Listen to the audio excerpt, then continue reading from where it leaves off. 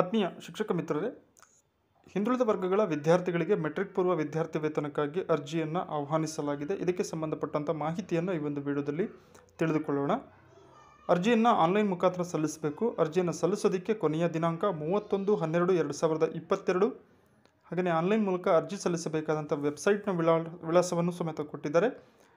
H T T P S slash S S P dot Karnataka dot government dot in so ಈ ಒಂದು ಅಧಿಕೃತ ವೆಬ್ಸೈಟ್ನಲ್ಲಿ ತಾವು ಒ B C ವಿದ್ಯಾರ್ಥಿಗಳು.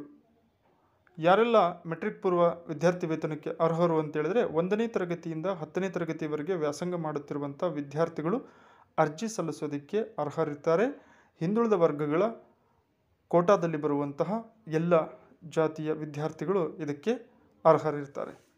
ಇನ್ನು ವಿದ್ಯಾರ್ಥಿ ವೇತನದ ಸೌಲಭ್ಯದ ವಿವರವನ್ನು ನೋಡೋದಾದರೆ ಒ ಬಿ ಸಿಯಲ್ಲಿ ಅಲೆಮಾರಿ ಮತ್ತು ಅರೆ ಅಲೆಮಾರಿ ವಿದ್ಯಾರ್ಥಿ ವೇತನ ಪ್ರತ್ಯೇಕವಾಗಿದೆ. ಅವರಿಗೆ ಒಂದರಿಂದ ಹತ್ತನೇ ತರಗತಿ ಓದುವ ವಿದ್ಯಾರ್ಥಿಗಳಿಗೆ ಬಾಲಕ ಮತ್ತು ಬಾಲಕಿಯರಿಗೆ ಹತ್ತು ತಿಂಗಳಿಗೆ ಎರಡು ಸಾವಿರ ರೂಪಾಯಿ, ಒಟ್ಟು ಎರಡು ಸಾವಿರ ರೂಪಾಯಿ ಅಲೆಮಾರಿ ವಿದ್ಯಾರ್ಥಿಗಳಿರುವಂಥವರು ಒ ಬಿ ಸಿ ಕ್ಯಾಟಗರಿ ಅಡಿಯಲ್ಲಿ ಬಂದರೆ ಅವರಿಗೆ ಎರಡು ಸಾವಿರ ರೂಪಾಯಿ ವಿದ್ಯಾರ್ಥಿ ವೇತನ ಪ್ರತಿ ವಾರ್ಷಿಕ ನೀಡಲಾಗುತ್ತೆ. ಇನ್ನು ರಾಜ್ಯ ವಿದ್ಯಾರ್ಥಿ ವೇತನ ದರಗಳು ಈ ಕೆಳಕಂಡಂತಿವೆ. ಒಂದರಿಂದ ಐದನೇ ತರಗತಿ ಓದುವಂಥ ವಿದ್ಯಾರ್ಥಿಗಳಿಗೆ ಏಳುನೂರ ಐವತ್ತು ರೂಪಾಯಿ. ಅದರಲ್ಲಿ ಹತ್ತು ತಿಂಗಳಿಗೆ ಇನ್ನೂರ ಐವತ್ತು, ಹಾಗೆಯೇ ಆ್ಯಡ್ ಆ್ಯಕ್ ಗ್ರ್ಯಾಂಟ್ ಅನ್ನುವಂಥದ್ದು ಐದುನೂರು ರೂಪಾಯಿ ಸೇರಿ ಒಟ್ಟು ಏಳ್ನೂರ ಐವತ್ತು ರೂಪಾಯಿನ ಒನ್ ಟು ಫಿಫ್ತ್ ಮಕ್ಕಳಿಗೆ ಸ್ಕಾಲರ್ಶಿಪ್ ಒ ಬಿ ಸಿ ಅವರಿಗೆ ನೀಡುತ್ತಾರೆ.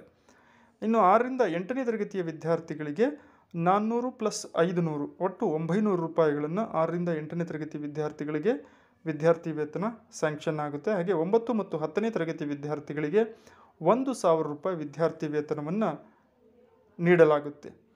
ಹಾಗಾದರೆ ಅಗ ಅರ್ಜಿಯನ್ನು ಸಲ್ಲಿಸಲಿಕ್ಕೆ ಅಗತ್ಯವಿರುವಂಥ ಮಾಹಿತಿ ಅಥವಾ ದಾಖಲೆಗಳು ಏನೇನು ಬೇಕು ಅಂತ ಹೇಳಿದ್ರೆ ಶಾಲೆಯಲ್ಲಿ ಪ್ರವೇಶ ಪಡೆದಿರುವ ಬಗ್ಗೆ ಸ್ಯಾಟ್ಸ್ ಐ ಡಿ ಅಂದರೆ ಎಸ್ ಟಿ ಎಸ್ ನಂಬರ್ ಬೇಕು.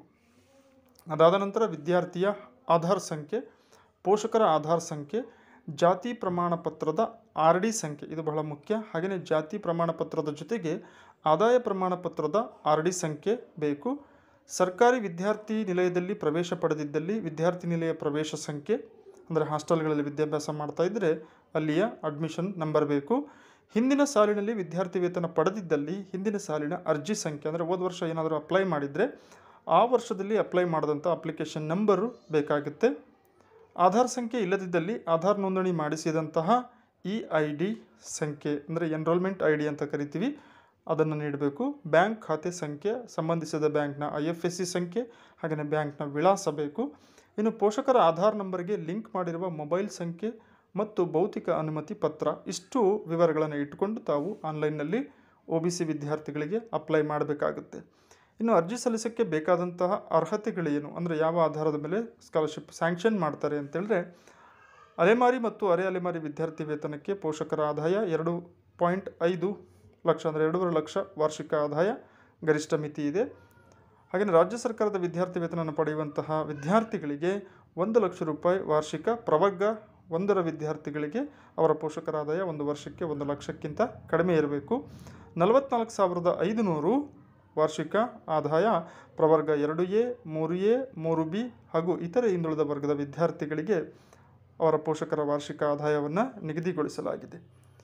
ಇನ್ನು ಫಲಾನುಭವಿಯ ಜಾತಿ ರಾಜ್ಯ ಸರ್ಕಾರವು ಅಧಿಸೂಚಿಸಿರುವಂಥ ಪ್ರವರ್ಗ ಒಂದು, ಎರಡು ಎ, ಮೂರು ಎ, ಮೂರು ಬಿ, ಹಾಗೆಯೇ ಕೇಂದ್ರ ಸರ್ಕಾರವು ಅಧಿಸೂಚಿಸಿರುವಂಥ ಇತರೆ ಹಿಂದುಳಿದ ವರ್ಗಗಳಡಿಯಲ್ಲಿ ಬರುವ ಅಲ್ಪಸಂಖ್ಯಾತ ವಿದ್ಯಾರ್ಥಿಗಳು ಹಿಂದುಳಿದ ವರ್ಗಗಳ ಕಲ್ಯಾಣ ಇಲಾಖೆಯಿಂದ ಈ ಸೌಲಭ್ಯಕ್ಕೆ ಅರ್ಹರಾಗಿರುವುದಿಲ್ಲ ಅನ್ನುವಂತಹ ಒಂದು ಸೂಚನೆಯನ್ನು ನೀಡಲಾಗಿದೆ.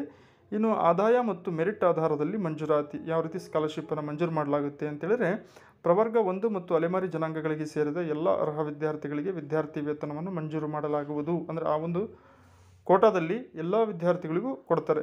ತದನಂತರ ಇನ್ನುಳಿದ ವಿದ್ಯಾರ್ಥಿಗಳಿಗೆ ಆದಾಯ ಮತ್ತು ಮೆರಿಟ್ ಆಧಾರದ ಮೇಲೆ ರಾಜ್ಯ ವಿದ್ಯಾರ್ಥಿ ವೇತನ ಮಂಜೂರು ಮಾಡಲಾಗುವುದು. ಅಲೆಮಾರಿ ಕೋಟದಲ್ಲಿ ಯಾರೆಲ್ಲ ಮಕ್ಕಳು ಹಾಕಿದರೂ ಸಮೇತ ಅವರೆಲ್ಲರಿಗೂ ಸ್ಯಾಂಕ್ಷನ್ ಮಾಡ್ತಾರೆ.